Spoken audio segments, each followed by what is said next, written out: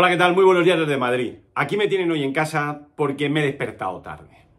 Las desastrosas élites occidentales que rigen nuestros destinos y eligen a nuestros gobernantes saben perfectamente que el sistema capitalista de amiguetes que montaron a partir de 1971 tiene los días contados y quieren hacer lo que se suele denominar vulgarmente el Gran Reset. Fue precisamente en 1971 cuando se abandonó el patrón oro, cuando el sistema capitalista occidental firmó su sentencia de muerte. No lo digo yo, lo dijo en su momento Hayek, Premio Nobel de Economía, en 1975.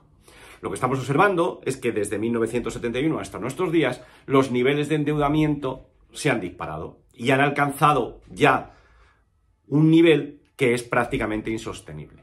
Además, debemos de tener en cuenta que el bloque asiático, Rusia, China e India, van a optar, como ya han amenazado, con monedas, monedas fiat respaldadas por oro o respaldadas por materias primas. Si ustedes tienen en cuenta, por un lado, que los niveles de endeudamiento son insostenibles y, por otro lado, la amenaza de unas monedas respaldadas, sólidas, pues hombre, las élites occidentales tienen que mover ficha. ¿Y cómo van a mover ficha? ¿Cómo van a hacer el gran reset? Bueno, al Banco Nacional de Austria se le ha escapado, ¿de acuerdo? Se le ha escapado. Si ustedes se fijan en la página del Banco Nacional de Austria, dice que tienen unas reservas de oro adecuadas para su nivel del PIB y están en torno al 4%. Aquí conviene aplicar aquello de excusatio non petita acusatio manifiesta. Si nadie le ha pedido explicaciones de por qué las reservas de oro representan aproximadamente el 4% del PIB, pero ya que lo dices, empezamos a sospechar de que hay un acuerdo secreto entre los bancos centrales de la Unión Europea, el Banco Central Europeo, auspiciado por el Banco Internacional de Pagos. Si ahora usted cogen, ustedes cogen las reservas de oro de Francia y las comparan con el PIB, observarán que da también un 4%. Por lo tanto, si nos encontramos que hay un acuerdo secreto para armonizar las reservas de oro de los bancos centrales de la Unión Europea, tanto estén en el eurosistema como no están, como no estén, pues podemos llegar a la conclusión de que el Banco Internacional de Pagos, las élites y los bancos centrales nacionales y el Banco Central Europeo han llegado a un acuerdo para llegar a algún tipo de patrón oro. Las economías de tamaño medio y grande parece que ya están cercanas a conseguir su objetivo, que es un acuerdo secreto que creemos que quieren que las reservas de oro representen el 4% del PIB. El problema lo tenemos en países como España. Pero bueno, yo creo que habrá algún tipo de acuerdo para que Italia, que tiene una gran cantidad de reservas de oro, se las venda a España a cambio de dólares y así España consiga las reservas de oro para tratar de alcanzar ese 4% del PIB. Y ustedes me dirán, bueno, ¿y esta idea es nueva de utilizar reservas de oro en función del PIB? No.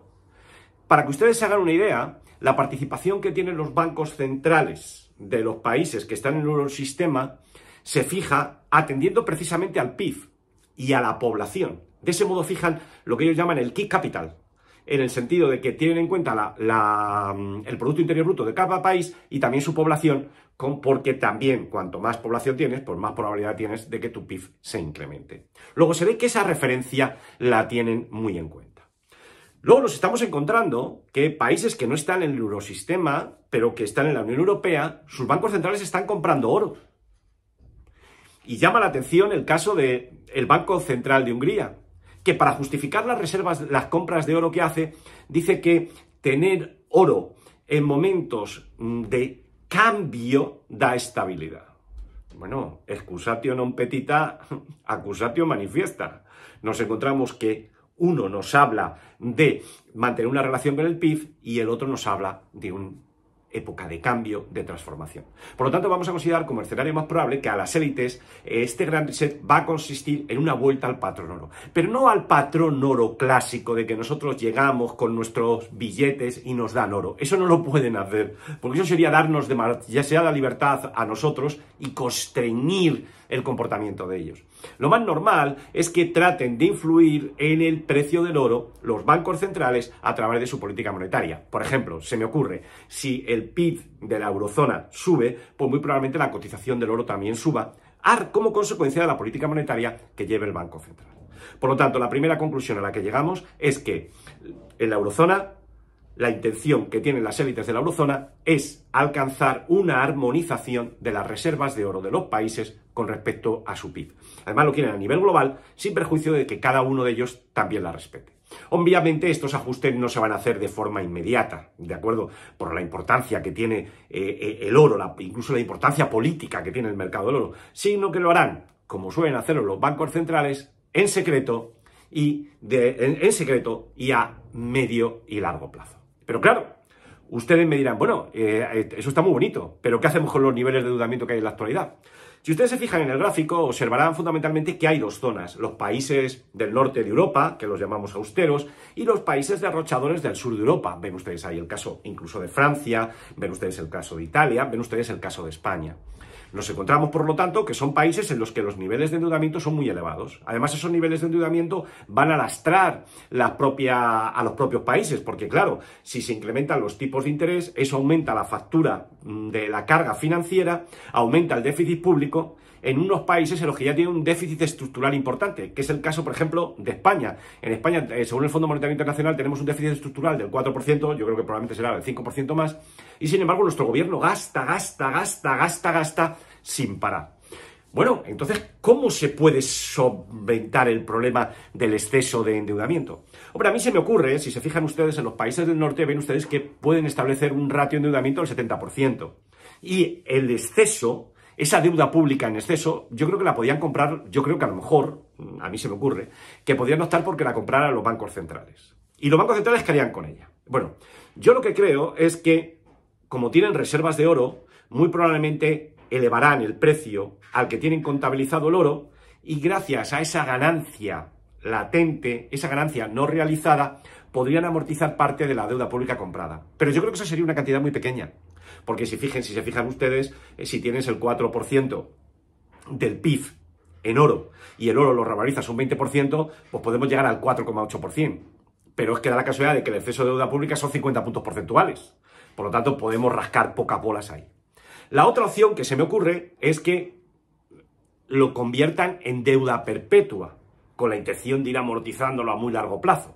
Y luego la otra opción es declararlo como una pérdida de tal manera que alterarían la contabilidad y pondrían esa pérdida derivada de una deuda pública incobrable en el activo del balance, considerándolo como un activo ficticio. Y sería amortizado con los beneficios futuros que obtuviera el Banco Central a lo largo de los próximos años, de tal manera que en vez de entregar un dividendo a los gobiernos, que lo que hagan es que ese dinero que ganen lo destinen a amortizar el activo ficticio. Ahí se lo dejo, medítenlo. Esto es lo que a mí se me ocurre del Gran Reset. Y estoy pensando en este momento que ustedes, seguro, que se les está ocurriendo las monedas digitales emitidas por los bancos centrales. Efectivamente, esa es la otra intención que tienen estas desastrosas élites que nos controlan. Quieren que los bancos centrales emitan dinero digital controlado por ellos y que además puede tener fecha de caducidad, porque nos podrían impedir gastarlo a partir de una fecha determinada, podrían inducir a que los gastáramos entre las fechas que a ellos les viene bien, e incluso podrían ponernos tipos de interés negativos sin límite inferior. Por lo tanto, yo como ciudadano, la conclusión a la que llego es, no quiero ver ni una moneda digital emitida por un banco central y a mí me gusta el oro. Ya veremos el gráfico del oro. Ahora mismo, como saben ustedes, si los bancos centrales están acumulando, esto está muy manipulado. Llama la atención que el precio del oro no suba cuando China es un agujero negro que chupa todo el oro que le llega, se queda con el oro de sus propias minas de oro y no sale oro. Pero bueno, esta es la manipulación del oro papel y ya veremos el gráfico otro día. Me basta con que mediten esto para el día de hoy. Adiós, hasta luego.